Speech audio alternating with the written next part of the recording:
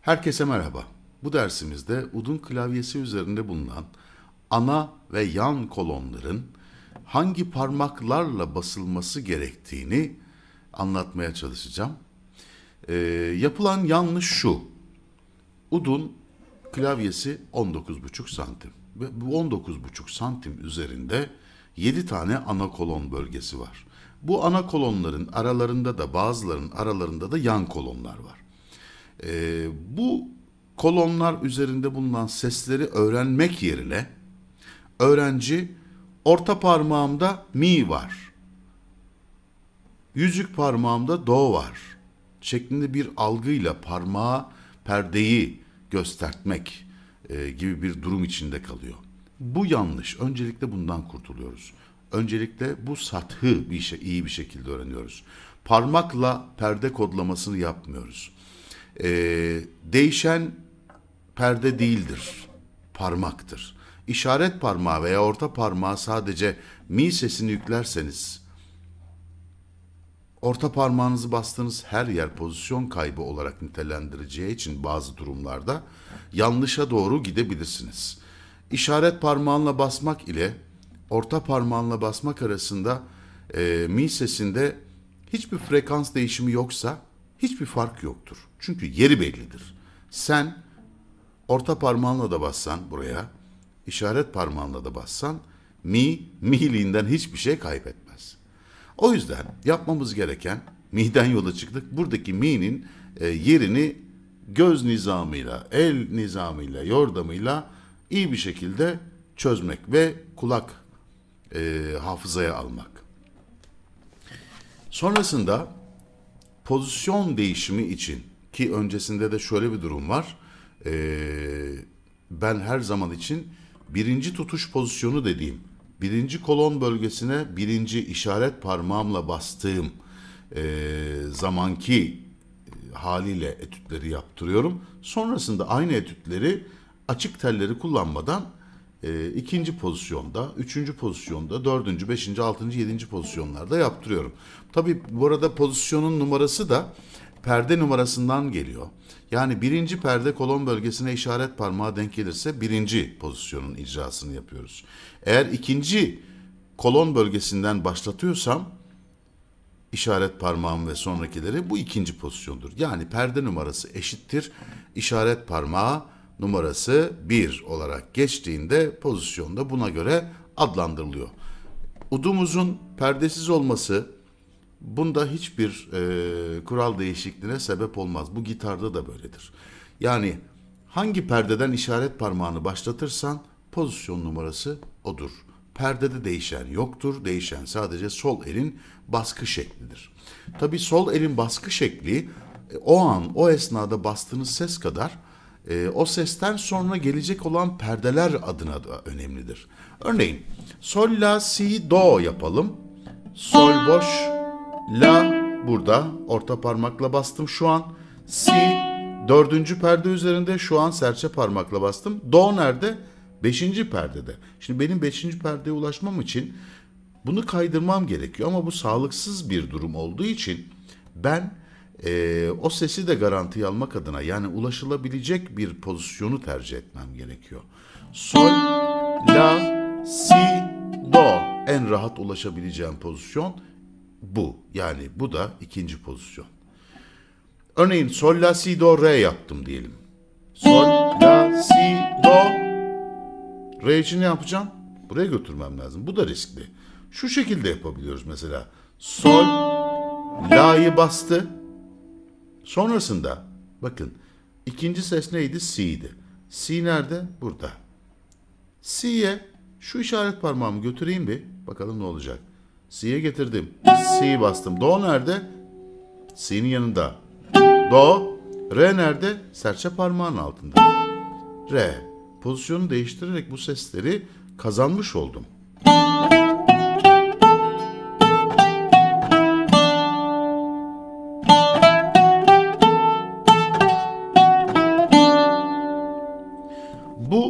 Diğer tellerde bulunan sesler için de geçerli. Aynı zamanda baskılı ses dediğimiz açık tellerin e, yani her telin bir üstteki telin beşinci kolonunda bulunan baskılı sesleri. Örneğin sol, buradaki de, buradaki de sol. Yani ikinci telin beşinci perdesindeki baskı yeri de sol. Sadece tellerin incelik kalınlıkları farklı olduğu için tını değişir burada. Bu da re.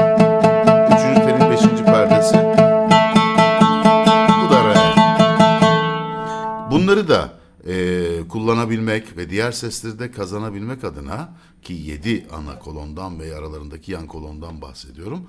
Uygun olan parmağı e, eli getirmek ve götürmek e, şartıyla o sese baskıya maruz bırakabilirim. Tabi burada şu çıkıyor karşıma makamlar üzerinde e, hangi pozisyonları kullanacağım? Eğer siz o makamın donanım hanesinde veya eserin içinde birinci perde, birinci kolon üzerinde bir ses icra etmiyorsanız, yoksa bu birinci kolon üzerlerindeki sesler, e, yani sol diyez, mi bemol, si bemol, fa, do ve sol sesleri, kalın sol sesleri yoksa, ikinci tutuş pozisyonuyla icranızı rahat bir şekilde gerçekleştirebilirsiniz. Bu e, şu da gerektiriyor. Mesela birinci perdede Hicaz'da si bakiye bemol var. Tamam yaptım çok güzel. Dördüncü kolonun hemen yan kolonunda do bakiye diyez var. Hemen bir altında fa bakiye diyez var. Şimdi bu iki telde re ve sol tellerinde işaret parmağımı kullanacağım herhangi bir yer olmadığı için bir baskı unsuru olmadığı için ben La, si bakiye bemol, do bakiye diyezi yaptıktan sonra re teline geçer geçmez ikinci pozisyonu alabilirim. İşaret parmağı benim en güçlü parmağım. En aktif parmağım. Ve işaret parmağını devreye sokmasıyla e, serçe parmağı ve yüzük parmağını kazanmış oluyorum. Artı parmaklar devreye girmiş oluyor. Gerek süslemelerde gerekse alternatif seslerin uygulanmasında e, çok daha rahat ediyorum. Şimdi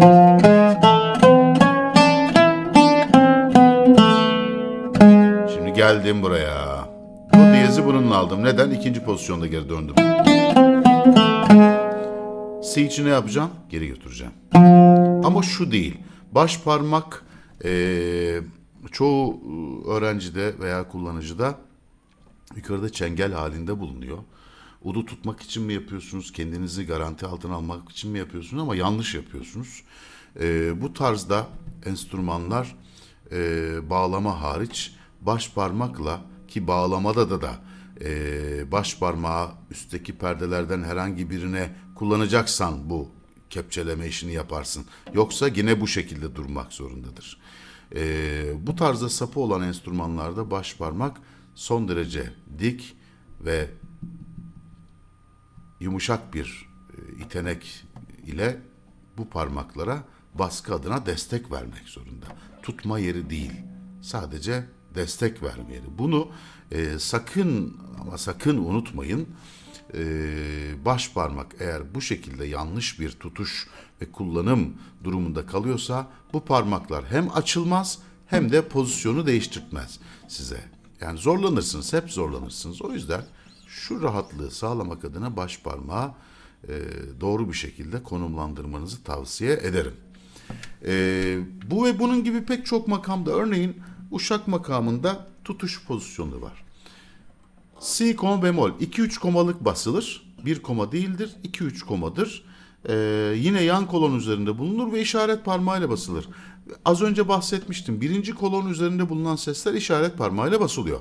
Aynı zamanda birinci kolonla ikinci kolon arasında yani şurasıyla şurasının arasında basılacak olan yan kolonlar var şu iki parmak arasında. Onlar da işaret parmağıyla basılır. Bu parmakla basılmaz. O yüzden bu pozisyon e, arada kalmış bir pozisyondur. Ara pozisyondur. Ana pozisyonlar içinde geçer değildir. Birinci pozisyona yakındır. Örneğin uşak parmağını, şey, uşak e, makamında segah perdesine işaret parmağını e, bastım. Sonrasında ne var? Do var sırada. Yani la, si, do. Şimdi do burada. Üçüncü perdede. Elimin altındayken şu hareketi yapmıyorum. Üçüncü parmağımı basıyorum.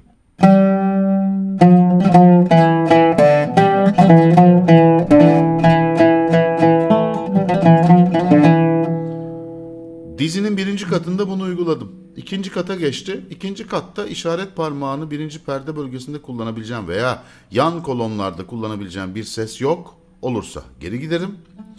İkinci pozisyonu atabilirim kendime.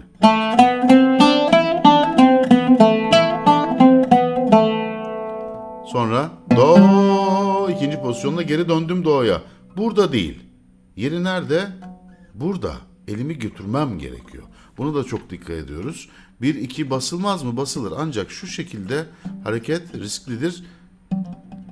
Pesten tize doğru inerken bu şekilde, tizden peste doğru inerken ister burada değiştirin, isterse değiştirdikten sonra işaret parmağınızı geri çekerek si koma bemol segah sesinin 2-3 koma olanını uşak makamında kullanabiliyorsunuz.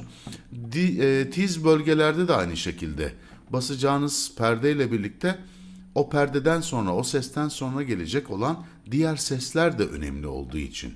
Yani benim burada la'yı basmam işaret parmağıyla elimin altında bulunan si ve do seslerini rahatlatır.